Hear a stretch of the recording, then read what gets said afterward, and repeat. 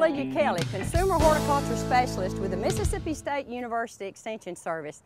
January in Mississippi brings a slew of containerized fruit trees to your local nursery, garden center, or farmer's co-op. Now how do you decide what's the best fruit tree for you in your home landscape? Well in today's segment, we're going to tell you how you can do that, get the best tree for you.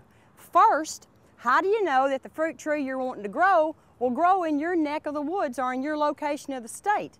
And then, is the cultivar that you're wanting to use the right one? We're going to show you how to make those decisions. Well, there's an extension publication, number 966, Fruit and Nut Recommendations for Mississippi, that can help you with these decisions. This pub is chock full of great information that will guide you in making the right decision. For example, you can find out that apples are best suited to the northern third of Mississippi. It also provides cultivars that should do well for you. If you live in the coastal area and want to try your hand at growing apples, this pub will tell you the apple cultivars to try. It also contains information on other fruit tree crops, including pears, peaches, cherries, plums, and Japanese persimmons, as well as the bush, bramble, and vine fruits like figs, blueberries, blackberries, muscadines, and bunch grapes.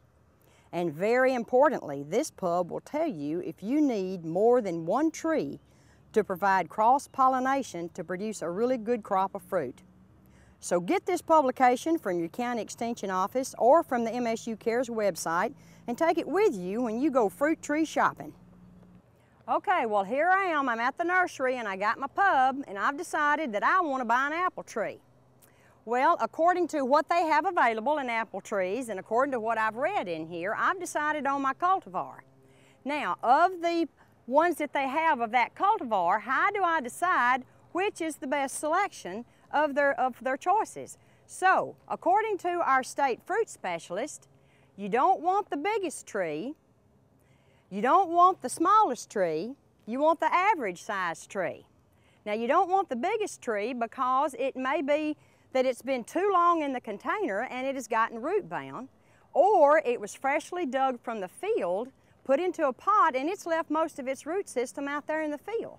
Now you don't want the smallest one because it may be not quite developed enough with a really good full root system and it may not have as good a chances as survival when you get it home without some really tender love and care.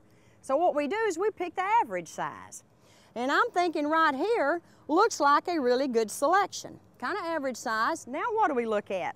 Well, we check to see that it's got evenly spaced scaffold branches, and it does.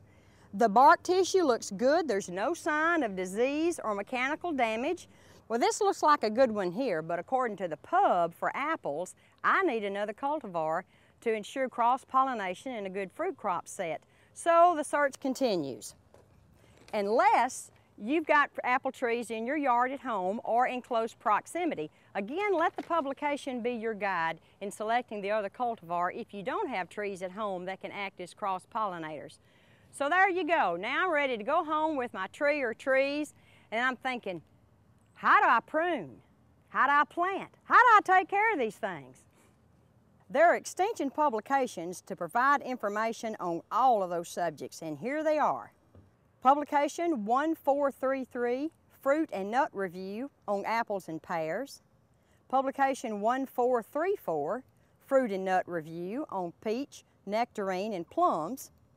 Information Sheet 1446, Fruit and Nut Review on Ornamental Persimmons. Or Publication 568, Homeowner Peach and Plum Insect and Disease Control. Or Publication 736, homeowner apple and pear insect and disease control. You can grow a variety of fruit trees in Mississippi to provide fresh fruit for your family.